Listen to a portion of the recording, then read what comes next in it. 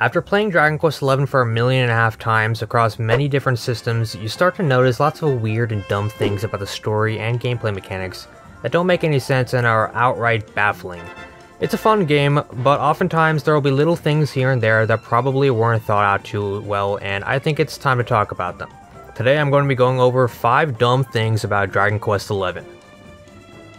In Dragon Quest XI, you'll often be asked a question by one of the various characters. Look, I'm worried about the half-wit prince getting himself killed. Can I come with you or not? And oftentimes, you'll have one of two dialogue options to respond with yes and no. It's already a little bit ridiculous that the Luminary only seems to have the mental capacity to answer simple yes or no questions, while silent protagonists in many other games have unique dialogue options. But as a further blow, the Luminary's answers to pretty much all these questions don't even matter. Yeah, Dragon Quest XI has a bad habit of having characters ask you questions during dialogue, only for it to not matter whether or not you say yes or no. Saying no to a particular question doesn't change the story or how characters perceive you. Even if you refuse to outright help every person who asks you for assistance, your friends still see you as a pure, wholesome being.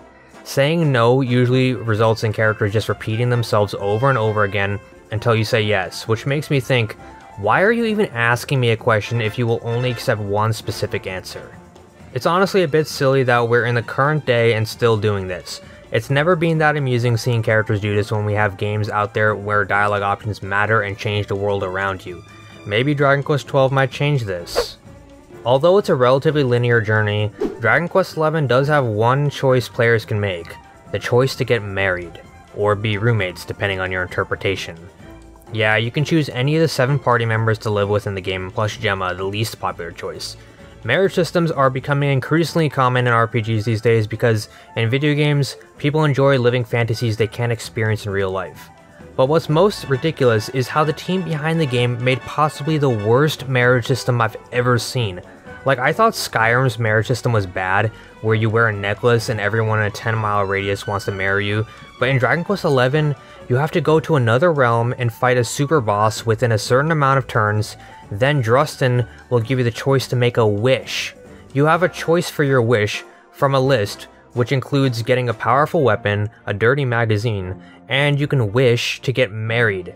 Yeah, forget about talking to a character and getting to know them. No, you have to ask a muscular, glowing man to just make it so that you're married to a certain character, and when you get home, they're just there waiting for you like it's all natural.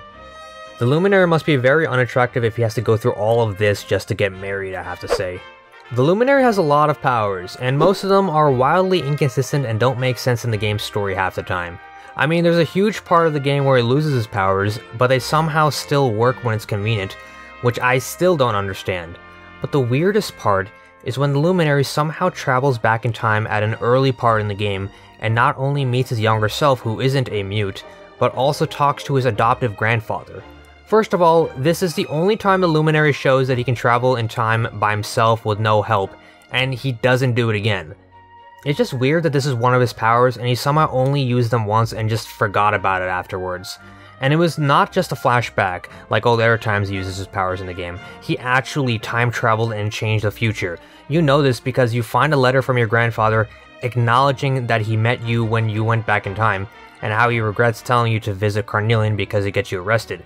So, if he regrets telling you that, then why didn't he warn you in the past? I mean, clearly the Luminary altered time, so doesn't that mean he could have just prevented himself from being jailed at the beginning of the game? It makes absolutely no sense whatsoever. This weird time jump has no logic or explanation. This is one of the many, many plot holes in the game that was just conveniently not explained, but probably the most baffling one and it still bugs me. When Luminary goes to Gallopolis, he finds a cowardly prince named Faris who wants him to trade places with him to win a horse race so that he won't shame himself in front of his people because he can't ride a horse. The plan involves a luminary wearing his armor and entering the horse race to hopefully win it. Well, as it turns out, if you completely fail the horse race and get in last place, the game still goes on like normal and everyone goes on about how great you were at riding, almost like you won. So it's like it doesn't matter how well you do because everyone is going to be happy with you regardless, even Prince Faris has no problem with you completely blowing it. So basically, the entire horse race was pointless because I guess as long as you did it, everyone is happy. Honestly, this is dumb. The game was being too forgiving here, and it doesn't make sense. Prince Faris should be ashamed of you for losing. He shouldn't be happy. This whole thing was just a royal waste of time.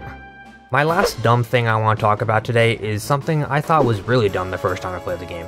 When the party goes to Octagonia for the mass martial arts tournament, the Luminary gets paired up with Vince Vanquish, the reigning champion.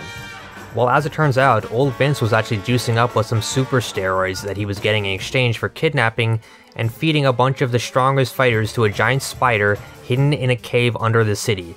Yeah, the dude is legit feeding people to a giant spider, and the game tries to justify it by making it seem like he was doing it to raise money for the orphanage or some shit. I'm sorry, but how am I supposed to be okay with that? He's committing attempted murder and kidnapping, and his means are supposed to justify this? And nobody cares after he basically apologizes at the end. Nobody acknowledges what he did. They just let him get off scot free. He was feeding people to a giant spider. He didn't care about what he was doing until he got his ass whooped. And then he has the whole crowd cheering for him? Like, shouldn't he be in jail or something?